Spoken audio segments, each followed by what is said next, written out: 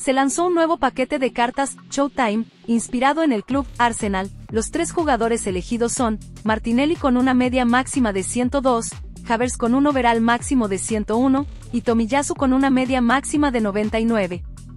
¿Valen la pena?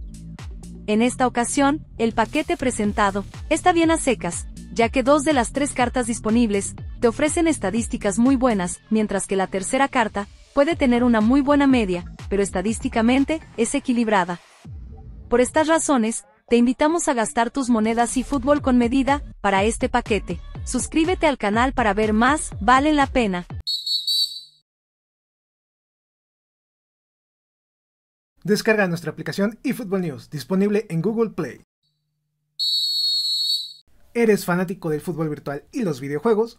Escucha nuestro podcast llamado eFootball News MX, donde podrás obtener mensualmente varios regalos como juegos gratis, complementos para videojuegos, tarjetas de regalo de PlayStation y Xbox para que puedas comprar monedas y fútbol, FC Points, DLC o videojuegos. Suscríbete al canal para que no te pierdas la notificación cuando subamos el podcast eFootball News MX. También descarga nuestra aplicación llamada eFootball News para que siempre estés informado del fútbol virtual. Recuerden que hacemos streams de lunes a viernes en nuestro canal de Twitch llamado eFootball MX para que pasen a saludarnos o dar su opinión sobre los temas del momento.